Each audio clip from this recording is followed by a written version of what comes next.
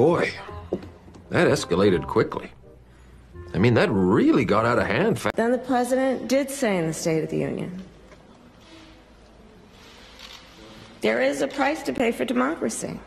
Oh, really?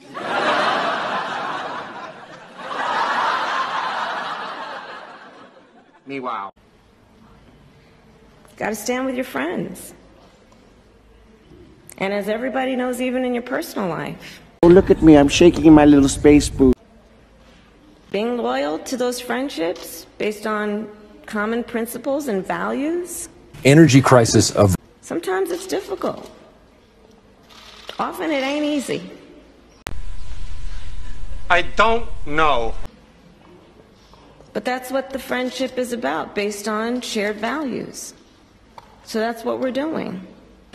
Schools is this nation's backbone. No, I think we've had enough of your joke. We are not amused.